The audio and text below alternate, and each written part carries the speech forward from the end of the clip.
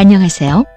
미시령 터널 속초 방향 출구에서 톨게이트로 내려가는 내리막길은 급경사와 급커브로 이루어져 있어 사고 위험이 매우 높은 구간입니다. 현재 이 구간에서는 구간 과속 단속이 시행되고 있으며 제한 속도는 시속 60km입니다. 모든 승객들은 안전벨트를 필히 착용하고 제한 속도를 준수하면서 안전 운행하시길 당부드립니다. 감사합니다.